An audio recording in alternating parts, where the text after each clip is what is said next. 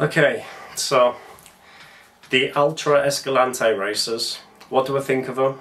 Is the design good? Are they comfortable? What does the cushioning feel like? How does it interact with my running form and my body?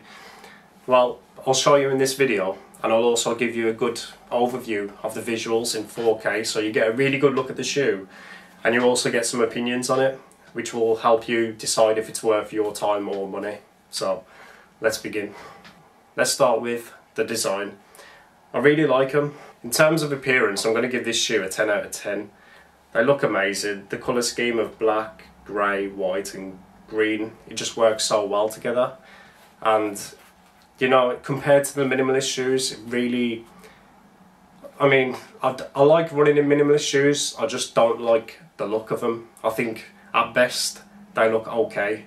And it's nice to run in a shoe that actually looks great for a change. Even compared to all the other brands and shoes, like I really like the sort of levelness of it too. I don't, I don't like heel drops, so it just looks like such a balanced, symmetrical, nice shoe. And underneath, yeah, that design's a little bit interesting. The tread, it's kind of funky, but you know, it looks alright still. Um, I think that's just an Altra thing, to be honest. It's a very light shoe as well. Like it feels like you're almost wearing hardly anything in terms of weight. Uh, it's comfortable too. The cushioning for me is the right balance of firm and soft. Like obviously I'm a little bit biased because I'm usually running with no cushioning.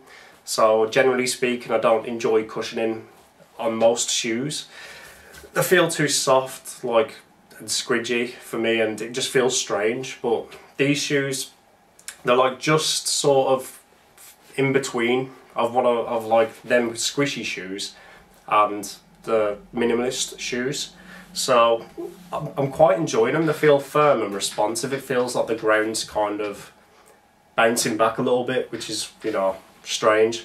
And I went, I ran 19 miles on the weekend with my friend Jack, who we're, we're training for a big race in the summer so this was split up into two runs and basically I ran about half of the distance in these Altra Escalante Racers and the other half in Altra Lone Peak 4s which are sort of like a trail version of the shoe and something very interesting happened.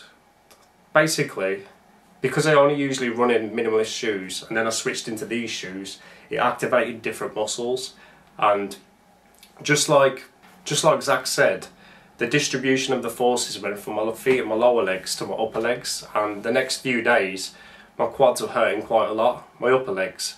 So that was a very interesting side note. But yeah, this isn't the full review video. The full review video will have will be after a few hundred miles and it will have like a full effort sort of editing and music, you know, really try to it'll be this is like a miniature version of the big one that's to come. But yeah, I'm really enjoying this shoe so far. It's It looks great, feels great. Let's see how long the cushioning lasts and let's see if there's any other problems or any other part of the shoe that degrades first. So that will be in the future sometime. So that's all I've got to say about these shoes for now. So if you want to see some more shoe review videos or preview videos, just check them out on my channel. I've got videos about runners too, about pro runners and what we can learn from them. So yeah, See you in a bit.